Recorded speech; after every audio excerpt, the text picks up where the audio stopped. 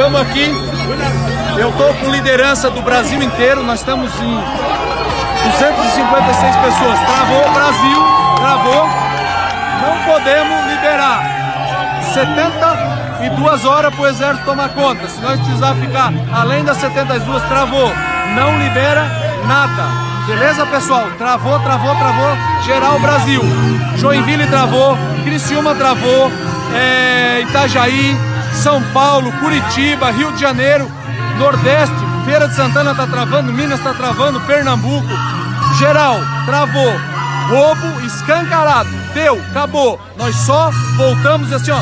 Não tem político nenhum que vai chegar perto de nós e ó, vocês não podem pedir intervenção militar ou qualquer coisa. Nós só saímos das ruas a hora que o exército tomar o país. Não tem político nenhum, porque os políticos vão vir agora dizer não, não pode para tentar garantir o cargo. Não podemos garantir cargo de ninguém. Agora é o nosso futuro que está em jogo. Então assim, ó, agora o futuro nosso é o seguinte: é, travou, só voltamos para casa após o exército tomar o Brasil, beleza? Tamo junto.